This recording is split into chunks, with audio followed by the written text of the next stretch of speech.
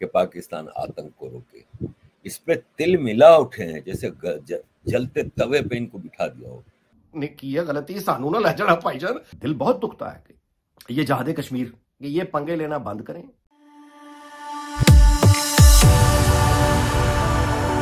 जय हिंद दोस्तों मोदी देश में आपका स्वागत है।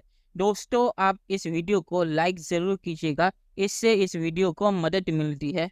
तो दोस्तों, आज पाक मीडिया बात करे कैसे जॉइंट स्टेटमेंट में जो भारत और अमेरिका ने दी है, उसमें अमेरिका ने पहली बार ये माना है कि कश्मीर में जो आतंकी हमले हो रहे हैं, वो पाकिस्तान करवा रहा है। और अमेरिका ने पाकिस्तान को कहा है कि ये सब बंद करने के लिए, वरना पाकिस्तान फिर से एफ़ में जा सकता है। और इस बयान के आने के बाद बिलावल भुट्टो का मुँह बंद हो गया है। और बिलावल भुट्टो ने कहा है कि पाकिस्तान को इस स्टेटमेंट में फोकस ना करके अपने डोमेस्टिक सिचुएशन को पहले ठीक करना चाहिए। और पाकिस्तान के डिफेंस मिनिस्टर ने मोदी जी के बारे में बहुत ही गलत शब्दों का इस्तेमाल किया है, जिसे पाकिस्तानी मीडिया भी पसंद नहीं कर रहा। और पाकिस्तानी मीडिया इस पे ज़ोर रहा है। दोस्तों, ये वीडियो बहुत ही मज़ेदार है तो इसे आप पूरा ज़रूर देखिएगा। तो चलिए और इंतज़ार न करके ये वीडियो देखते हैं। ट्रंप बाइडन ने पाकिस्तान का नाम लेके मोदी और बाइडन ने अपनी प्रेस कॉन्फ्रेंस में कहा कि पाकिस्तान आतंक को। रोके इस पे तिल मिला उठे हैं, जैसे जलते तवे पे इनको बिठा दिया हो। हमारा डिफेंस मिनिस्टर पार्लियामेंट में स्पीच कर रहा है कि बाइडन का दिमाग खराब है, बाइडन अपने बगल में बूचर ऑफ़ गुजरात को पूछे कि वो मुसलमानों के साथ क्या कर रहे हैं। अबे तुम क्या कर रहे हो मुसलमानों के साथ अपने देश में?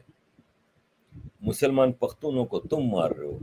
मुसलमान बलोचों को तुम मार रहे हो। सारे मुसलमान ही है ना पाकिस्तान में, सबको मार रहे हो।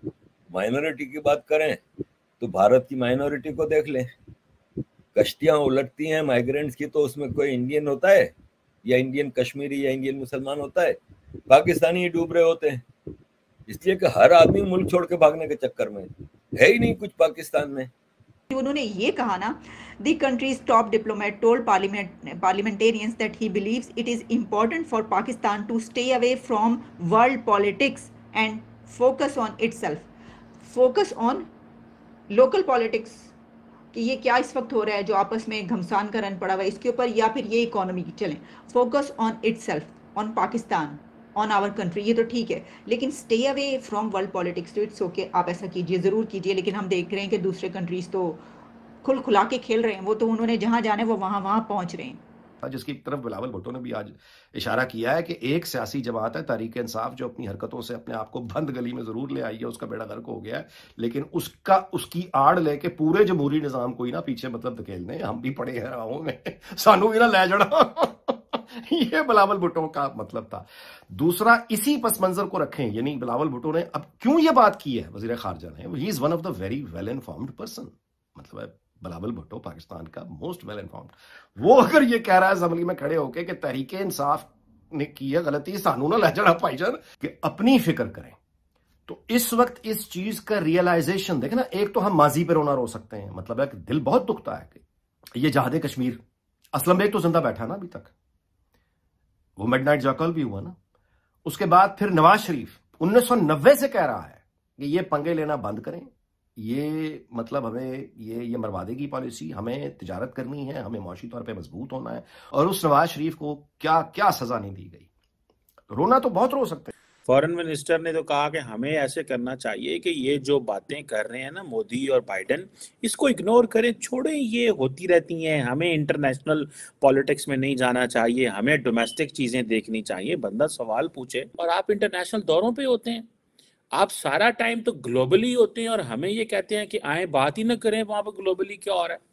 तो ये जो मौकफ है फॉरेन मिनिस्टर बिलावल भुट्टो जरदारी का, ये बड़ा एक जिसे कहते हैं ना शर्मिंदा मौकफ है। पाकिस्तान की भी एक पोजीशन है, उस पोजीशन को खुल के बयान करना हमारा काम है, ना कि शर्मिंदा होना हमारा काम है। हमें शर्मिंदा होने की कोई ज़रूरत नहीं है। डिफेंस मिनिस्टर ने कह दिया, जी, मोदी साहब तो बुचर ऑफ़ गुजरात है और फलाना और इस तरह की चीज़ें उन्होंने कही हैं।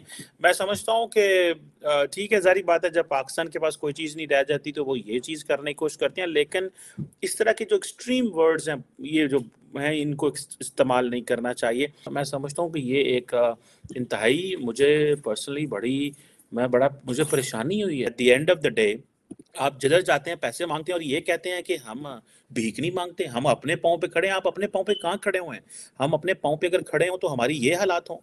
आपके पास क्या है यार? कहानी सुनाओ हमें। हमें बात सुनाओ, तुम्हारे पास क्या अल्टरनेट प्लान है? अगर हमारे पास भी एआई का इंफ्रास्ट्रक्चर होता, हमारे पास भी सेमीकंडक्टर बनाने वाले लोग होते, साढ़े को सारे प्लाट थे रियल स्टेट थे जो है ना, घर के, जो ज़मीनों को, जो जरी ज़मीनों को हाउसिंग सोसाइटियों में शिफ्ट करने वाले एक्सपर्ट बैठे हुए हैं। चलो, पाकिस्तान में नहीं कि बाहर आ गए किसी आपने छोटे बंदे से बयान करवा दो, लेकिन बयान तो दो यार। कुछ तो बताओ। लेकिन ये खामोश रहना, डरते रहना, ठीक है? डॉक्टर जयशंकर होता तो तुसा उठो डॉक्टर जयशंकर नो तफे मारने सन लेकिन क्योंकि इसमें वाइट हाउस इन्वॉल्व है तो आप स्टेटमेंट ही नहीं दे रहे तो इट मीन्स कि आप बेसिकली कह रहे हैं कि मैं अप्रोप्रिएट टाइम पे स्टेटमेंट दूँगा, मैं अभी आपके बारे में स्टेटमेंट क्यों दूँ? चलिए दोस्तों, इस वीडियो पे बात करते हैं। तो पाकिस्तान जैसा बेशरम मुल्क मैंने आज तक नहीं देखा। इस जॉइंट स्टेटमेंट में जो चीज़ें बोली गई है, उस पर कोई जवाब पाकिस्तान के पास नहीं है। तो इसीलिए पाकिस्तान के डिफेंस मिनिस्टर जिसकी पाकिस्तान में कोई औकात नहीं है, क्योंकि पाकिस्तानी आर्मी चीफ पाकिस्तान का माई बाप है तो पाकिस्तान के डिफेंस मिनिस्टर की क्या औकात होगी? तो उसने मोदी जी के बारे में ऐसी चीज़ें बोली है, जो मैं यहाँ पे बोलना भी नहीं चाहता, क्योंकि उस पर मोदी जी को सुप्रीम कोर्ट से क्लीन चीट मिल चुकी है। तो पाकिस्तानी डिफेंस मिनिस्टर जिसकी पाकिस्तान में कोई औकात नहीं है, उसके किसी भी बयान पे मुझे बोलने की ज़रूरत नहीं है। और इस डिफेंस को कोई शर्म आती तो इस जॉइंट स्टेटमेंट में जो कहा गया है, उस पे ये डिफेंस मिनिस्टर, जिसकी पाकिस्तान में चबरासी की भी औकात नहीं है, वो इस जॉइंट स्टेटमेंट में जो कहा गया है, उस पे कुछ बोलता। बिलावल की कम से कम इतनी शर्म है कि उसने इस पे कुछ नहीं बोला।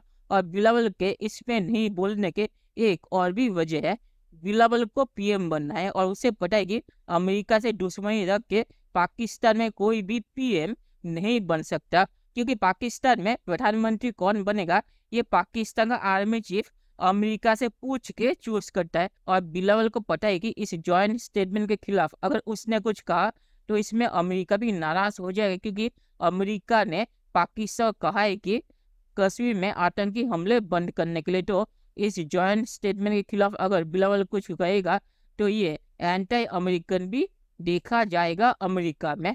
तो इसीलिए बिलावल ने इस पे चुप्पी साथ ली और कहा कि अपने डोमेस्टिक इश्यू पे ज़्यादा फोकस करो, ना कि इंटरनेशनल और आखिर में मैं ये कहूँगा कि बिलावल पाकिस्तान का फॉरेन मिनिस्टर है।